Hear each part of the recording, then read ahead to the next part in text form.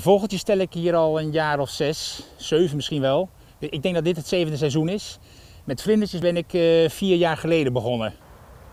Het is een heel rijk gebied uh, en, en uh, er komen hier 477 verschillende soorten macrovlinders voor.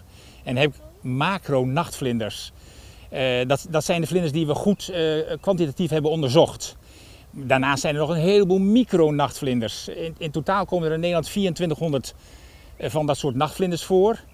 Nou ja, je kunt wel nagaan uh, dat, dat het hier heel, heel rijk is. En dat heeft vooral te maken met het feit dat het een heel gevarieerd landschap is. Nat, zoals hiernaast, maar ook droog.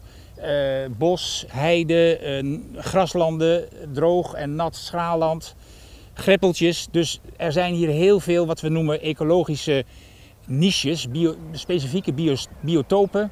Uh, en elk biotoop heeft zijn eigen soorten. Vroeger had je makkelijk uh, 3, 4, 500 vlinders op dat, uh, op dat laken, op dat witte laken.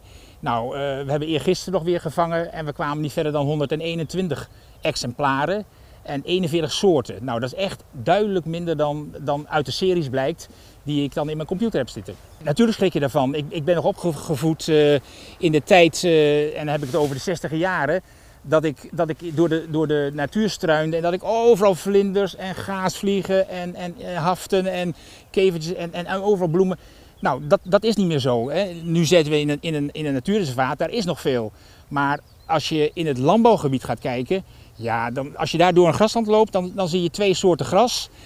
En, en geen, geen vlindertjes, geen vogeltjes. Dat is echt heel erg droevig.